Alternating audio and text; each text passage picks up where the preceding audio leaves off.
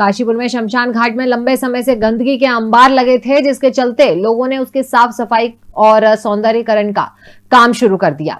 तो कुछ लोगों ने इसका विरोध करते हुए मारपीट और हंगामा किया। मौके पर पहुँची पुलिस ने दोनों पक्षों के लोगों को शांत करवाया और मामले को आगे बढ़ने से रोका। मामला काशीपुर के जसपुर खुर्द में बने शमशान घाट का है, जो कि बीते दो सालों से बंद था।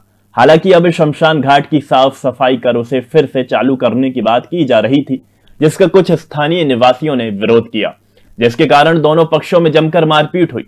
मौके पर पहुँची पुलिस ने दोनों पक्षों को शांत कराया। वहाँ मौजूद रिटायर्ड सैनिक परमजीत सिंह ने बताया कि यह शमशान घाट अस्थायी तौर पर उन्नीस सौ बासठ में बनाया गया था, जिसको सरकार द्वारा उन्नीस में सरकारी स्थायी मान्यता दी गई है। सब लोगों ने यहाँ मिलकर आके देखिए, सर, साफ़ सफ़ाई कर दी। है पहले इतना साफ़ नहीं था।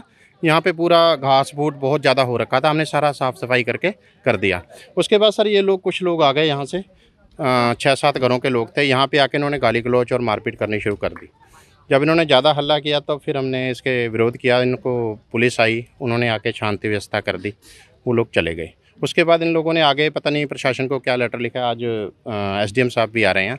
वो कह रहे हैं कि इसको बंद कर दिया जाए, जबकि ये शमशान घाट सर सरकारी है, हमारा सर पुरातन है। ये जसपुर खुर्द की पूरी आबादी, सर, का लगभग बीस हज़ार आबादी जो है इस पर डिपेंड करती है। तो सर, हम इसको कैसे बंद कर सकते हैं? मेरे संज्ञान में जो मामला आया है कि ये बीच में अभी लगभग पिछले एक दो सालों से तो यहाँ पर बंद था अब इसमें दोबारा कार्य किया जा रहा तो इसका थोड़ी सी पब्लिक विरोध कर रही है। तो इस सिलसिले में बातचीत चल रही है। एस साहब आने वाले हैं, देखते हैं फिर क्या